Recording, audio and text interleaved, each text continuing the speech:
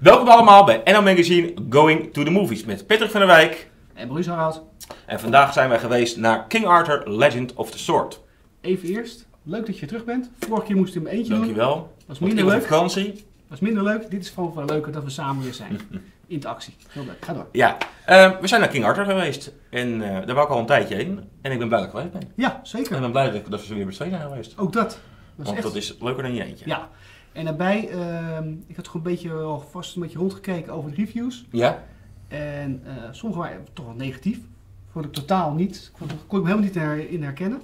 En ik hoorde dat hij erg duur was qua maken. Dus 160 miljoen zei ik. Ja, zoiets, ja. Dat is pittig aan de of dat waar is, weet ik niet. Maar dat, dat, dat bedacht kwam langs. Ja, ja. Het is dan 60 miljoen duurder dan waarschijnlijk de nieuwe Transformers. Want ik las ergens dat die 100 miljoen kostte. Ja, en Een schijntje, En volgens mij de eerste paar weken heb je pas 40 miljoen opgebracht. Dus Dat is weinig. ja, dus we weten niet Maar het was wel vreemd, want hij was wel... Ik vond hem wel echt goed. Ja. Ik vond het een goede film. Zeker. Nee, ehm, Ik vond hem wel hier en daar een stukje afgeraffeld af en toe met verhaal. Ja, ja. Verhaal technisch. ja, maar dat heeft mee te maken met Guy Ritchie, want dat is de regisseur. Die heeft af en toe, om het verhaal te versnellen, gaat hij van die soort flashback-achtige slow-mo dingen doet hij erin om het verhaal heel snel uit te leggen. Te bespoedigen. Ja. Ja, dat heeft hij ook eerder gedaan bij eh, Snatch.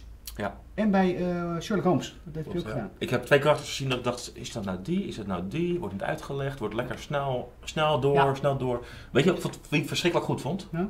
Nou, wie denk jij dat ik verschrikkelijk goed vond in die film? Ehm, Wie vond jij verschrikkelijk goed spelen in die film? Dat je denkt, nou dat personage, die acteur was fantastisch. ja, dat is even te twijfelen. Want Of echt, ik wil Jude Law voor kijken Jude. Law was de beste. Ja. Echt fantastisch. Die is een hele goede bad guy, is die. Ja. Die speelt altijd een hele goede bad guy. En zeker als hij iets van King moet spelen, of nou ja, misschien kennen jullie ook wel de serie, eh, hoe heet het? Dat hij de paus is. Poop. Die moet ik nog steeds zien. Heb ik seizoen 1 van gekeken. Speelt die ook, hij speelt briljant, die rol, vind ik. En hierin ook meesterlijk gespeeld. Meesterlijk gespeeld, vind ik. Eigenlijk, die zou zeggen, het is een karakter voor good guy rollen. Ja. En uiteindelijk zie je toch dat dit soort rollen ook gewoon helemaal perfect Hij doet het zo goed, joh. Hij, heeft er, hij, heeft er, hij maakt er zoveel diepte in dat karakter, geeft hij het. Ja. Dat, was, dat is echt fantastisch goed. Daarnaast, kijk, de hoofdrolspeler heet Charlie Hunnam. Die eh, is weer bekend van Sons of Anarchy. Ja. En dat is denk ik misschien ook een van de, misschien van de dingen waarvoor toch geen kaskaker is geworden, financieel gezien. Omdat hij natuurlijk een, toch een beginnende acteur is. Klopt. Ja. Want hij heeft nog niet echt een blockbuster eerder gedaan. Dus dat is dus de eerste. Ja. Kijk, hij komt in principe uit een tv-serie. Ja. Dus ja, en dit wordt, moet meteen een kaskraker worden. En het zou het zeker kunnen geweest zijn. Alleen ik denk niet dat ze... ehm, niet met deze hoofdrolspeler. Zou Nee. dat iemand anders moeten kiezen. Maar ja, wie? Dat weet ik ook niet. Want Wie hij, ga je dan kiezen? ja, hij deed het wel goed. Dus het Hij deed niet- fantastisch. Ja. Hij speelde de rol uitmuntend. Ja, maar ja, dat is gewoon, dat is gewoon de naam. Het is de naam, ja. Ja. Ik zou ook geen andere... Nu ik de film gezien heb, zou ik ook niet bij mezelf kunnen denken... Nou, dat die... Zou het dan beter gedaan kunnen hebben of misschien beter passen of... Nee, dus Maar ja, goed, geef me even een kwartiertje. Maar zo lang hebben we niet. precies. En daarom is het ook, eh, voor de rest waren het toch wel wat bekende gezichten. Eh, kijk even naar de man, heet eh, Adrian Gillen. Dus, Aiden Gillen, ja. dat is van Game of Thrones, Littlefinger. Ja, leuk hoor. Ja, dus die is ook weer leuk. Ja, dus dat herkende je. En dan Urter, Uther. Dat is Arthur, King Arthur. Nee, Uther, nee niet. Arthur. Zijn vader. Zijn vader. Dit Uther. Uther. Ja, die Uther. Dit is eh, Eric Bana. Dat is ook een bekende acteur. Als je hem ziet, bekende, ja. dan denk ik van, oh ja, die eh, herken ik ook wel. Ja, vind ik ook, die man heb ik al heb een knappe kop, vind ik. Ja, gewoon, Nee? eh, ja die, die heeft iets. Die, is gewoon, Die heeft iets, ja. Ja, Ja. Dus, maar die, eh, dus die was ook Ja. bekend. Dus je hebt gewoon ook best goede acteurs zaten erin. En het verhaal was ook leuk. Dus het had, hij gewoon beter verdiend eh, qua... eh, eh, Nou ja, kijk, ehm, dat hij in de openingsweekend misschien niet zoveel verdiend heeft en dat hij misschien... Eh, het kan nog komen. Ja. Als meer mensen denken van, ja, goede film. Kijk, Ja. als mensen tegen mij zeggen van, heb je King Arthur gezien? Ja, wat vond je ervan? Ik vond het een goede film. Ik zou, hem- oh, ik zou hem ook zeker in de bioscoop kijken. Ja. Want ik vond het een spektakelfilm. De tijd Ja. vloog voorbij. klopt. En hij was 3D. bioscoop. Hij was 3D. En er zaten wel leuke dingetjes Ja, er tussen. waren leuke dingen tussen, ja. Met de pijltjes en dat soort dingen. Ja.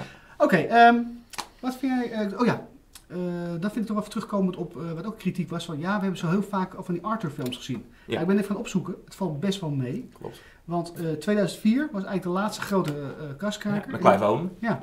En K- Keira, Keira Knightley. Ja, Yes. kijken of er van beneden voor. Nee, en ja, dat zijn toch wel ook eh bekende. Die, als ik, die zie je af en toe nog terug op tv en denk ik, nou, die is al vrij recent geweest, maar het blijkt toch dat die alweer 30 vond jaar ik ook geleden. Een, vond ik ook een goede film. Ja. Goeie, goeie film was het dus. Dat hij met die Romein. Ja. Fantastisch. Ja, vond dus- ja.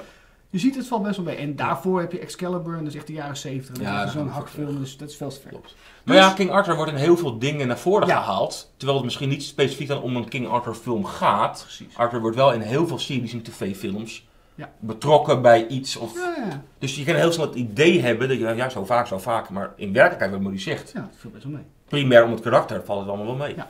Maar ja, als je kijkt naar eh, een serie zoals Jan Merlin, Ja, weer weer- klopt. Ja, Ja, denk ja. ja, goed. Die miste we trouwens, Merlin. Werd wel genoemd in de film. En je zag hem ook heel eventjes van achter, Ja, maar, is, maar hij is niet prominent aanwezig Nee, in de film. dat heeft denk ik te maken. Ik denk gewoon dat ze toch eigenlijk een sequel hadden willen maken van deze film. Maar ja, En misschien komt hij er ook wel. Ja. ja ik hoop het. maar als hij zo weinig in het laatje spreekt, komt hij waarschijnlijk niet. Ja, maar of je gewoon goedkoper maken. Iets minder special effects, Ja. iets meer verhaalkant. Maar ja, met Ritchie draait het toch wel om de effects. En Ja. grote scènes. En... Nou, eh, als je Snets kijkt, was het eigenlijk eh, wel hetzelfde manier van praten, acteren, maar niet zo Ja, echt... eh, Kijk naar zijn laatste paar films van Guy Ritchie. Het allemaal spektakelfilms. Zijn. Ja, oké. Ja, dat is voornamelijk een beetje ja. spektakelfilms. Ja, Sherlock Holmes was wel. Maar ja, wel ook spektakel. Ja, maar ik weet niet hoe duur die was. Nee. Dus ik hoop trouwens dat Sherlock Holmes snel weer een nummer 3 uitkomt. Spectaculair Ja. vond. Die vond ik ook goed. Goeie Hè? film. Ook zo leuk. Even, dat is een side note. Maurice, Ja. welk cijfer geef je hem? Ik geef hem een 8. Ik geef ook een 8. Ja, ik zit nog getwijfeld, zou ik hem iets hoger geven, maar nee. Dat is Nee. het. Een 8 is prima. Ja. Een 8 is prima. Zeker wel bioscoopwaardig. Ja. Voor iedereen die in het kijken is. Dus gaan. Gaan. Iedereen bedankt voor het kijken weer en tot de volgende keer. Tot ziens.